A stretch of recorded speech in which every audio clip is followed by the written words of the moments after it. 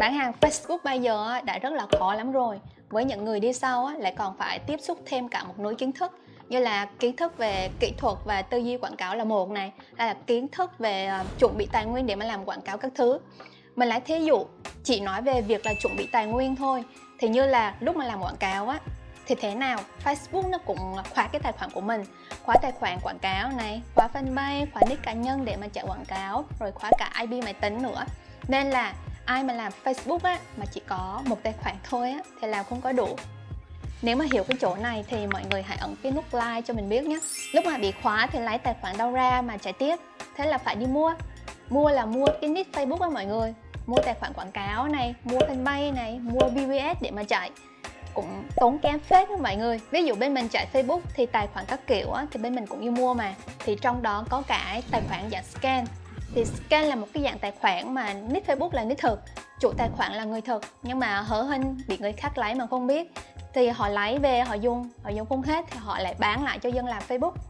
Mọi người có hình dung được không? Những cái tài khoản là hàng chất lượng á thường là người ta sẽ lấy tài khoản Facebook của người nước ngoài. Mà Facebook của người nước ngoài á, thường sẽ được Facebook ưu đãi đặc biệt hơn là cái tài khoản của người Việt mình. Ví dụ những cái tài khoản đó thì thường là được chạy quảng cáo trước rồi mới trả tiền sau đến một cái mức tiền nào đó thì mới phải thanh toán tiền cho Facebook. Mà chạy quảng cáo thì bán được hàng, và khi mà Facebook chưa thu được tiền á, thì quá được lợi rồi chứ còn gì nữa. Nên là những cái tài khoản đó ở Việt Nam á, rất được ưa chuộng, mua để chạy.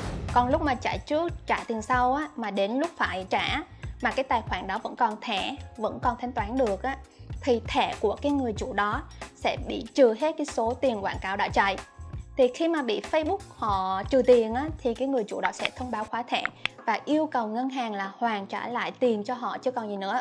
Thế nên là Facebook bao giờ cũng là cái bên thiệt hại nặng nhất.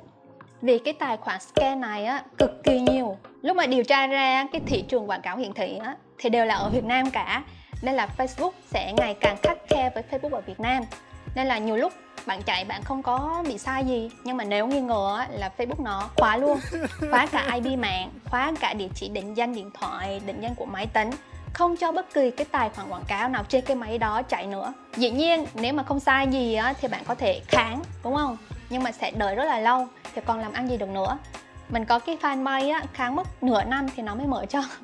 Thế nên là khi mà bị khóa rồi á thì mọi người cần phải am hiểu cả về cách quản lý tài khoản mới này biết về tip trick để mà có thêm tài khoản để mà còn chạy tiếp. Hoặc là bạn sẽ phải nuôi rất là nhiều cái facebook khác nhau. Chứ mà bạn lập nick Facebook mới á, là nó không có cho chạy đâu. Nếu quên thanh toán thì quảng cáo mà bạn biết tối ưu á, thì cũng lời được 30% chi phí. Nhưng mà sẽ cực kỳ ngốn tài khoản. Ai mà chỉ có một tài khoản Facebook mà lại không có kiến thức về quản lý tài khoản nữa thì thôi coi như là thua luôn không lên được quảng cáo mà chạy. Nên hầu như thì làm quảng cáo Facebook ở Việt Nam á, cái độ khó nó sẽ ngày càng tăng lên. Nên là nói thật là ít dành cho người mới đâu. Chưa kể là mua tài khoản thì cũng thượng vàng hạ cám. Có nhiều trường hợp á, thanh toán tiền xong nhận tài khoản thì lại không chạy được, hoặc là trả tiền xong thì nó biến mất luôn. Tức là nó lừa bạn luôn ấy. Bởi vì á, người bán á, họ sẽ làm việc bằng cái nick ảo, với lại thủ đoạn cũng nhiều á, nên là cũng dễ bị lừa lắm. Mình biết là có một bạn dân marketing nổi tiếng cũng bị lừa mất vài trăm. Tức là lúc đầu á, nó sẽ bán cho từng chút một, dùng thấy ngon. Thì dần dần á, phải mua nhiều hơn thì nó sẽ bán rẻ cho. Thế là đến lúc mà thanh toán xong á, là nó biến mất luôn. Đến lúc mà trình báo ra thì mới biết là cái số tài khoản ngân hàng này, số điện thoại các thứ là đều giả hết đó mọi người. Đó mới chỉ là sơ sơ về tài khoản thôi đó nha. Chưa kể kiến thức về kỹ thuật làm quảng cáo này, tối ưu quảng cáo bạn còn chưa có. Thì phải tiếp xúc thêm cả một núi kiến thức nên là mình tuy là làm Facebook, nhưng mà mình ít chia sẻ về Facebook, mà mình hay nói về kinh doanh sàn thương mại điện tử hơn để cho những bạn mới còn theo được. Còn nói không ngoa thì newbie bây giờ làm Facebook xong ra làm cũng nặng. Muốn giỏi thì cần phải học và học về mạng này, học tiếp trick thì nó nặng và học phí là chưa bao giờ là đủ. Nên là mình nhiệt liệt khuyên bạn, nếu mình kinh doanh thì hãy bắt đầu từ kinh doanh sàn. Ít nhất là nó đỡ về việc là chết tài khoản. Bạn có hình dung được không? Dự đoán năm nay và năm sau, kinh tế sẽ rất là khó khăn.